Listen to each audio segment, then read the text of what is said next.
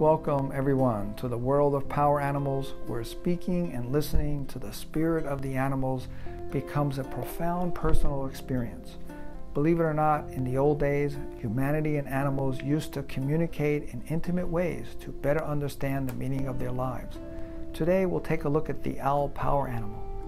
There are over 200 species of owls in the world.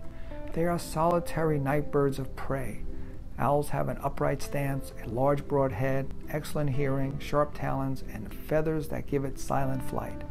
They possess large round eyes, yellow pupils, a flat face, and a hawk like beak. Their remarkable vision can adjust from binocular to microscopic and back in an instant. Owls hunt mostly small mammals and insects, although a few species hunt fish. They are very sensitive to their surroundings and can rotate their heads 270 degrees. The colors of the owl's feathers plays an important role when they sit and blend into their environment. Owls are intelligent, majestic, and elusive. They see what others don't see and hear what others don't hear. Besides being adventuresome, they are magical and mysterious. Their keen senses can pierce the darkness to see the past, present, and the future.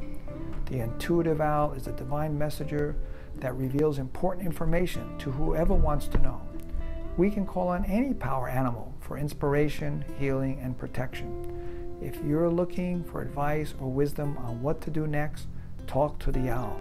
They give the confidence to follow your heart and intuition.